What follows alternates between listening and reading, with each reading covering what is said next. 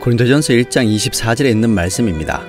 오직 부르심을 받은 자들에게는 유대인이나 헬라인이나 그리스도는 하나님의 능력이요 하나님의 지혜니라. 우리는 같은 재료를 가지고 다양한 음식을 만들 수 있습니다.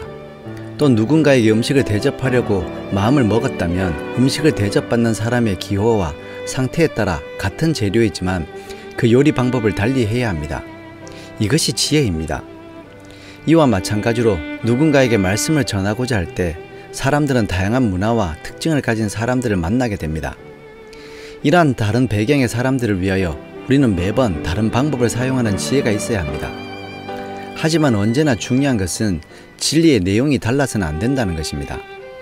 사도 바울이 전한 복음 내용은 자신이 가진 교육적인 배경에서 짜내고 만들어낸 학문이 아니라 부름받음으로 받게 된 상을 자랑하는 것이었습니다.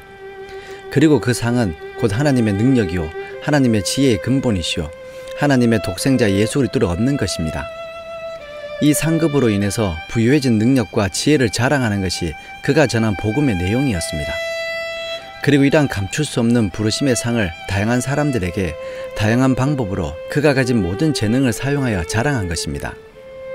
오늘 진리 안에서 부름받은 우리 모두에게도 여전히 사도 바울이 가장 귀한 것으로 자랑했던 부르심의 상이 있습니다. 그리스도인으로서 우리들의 삶이란 이러한 상을 자랑하며 사는 것입니다. 오늘 우리에게도 사도 바울과 같은 지혜가 있어서 이러한 상급을 다양하게 자랑하며 살 수 있게 되기를 바랍니다. 사랑하는 주님, 오늘 우리들에게 부르심의 상인 독생자 예수 그리스도를 주셔서 감사합니다.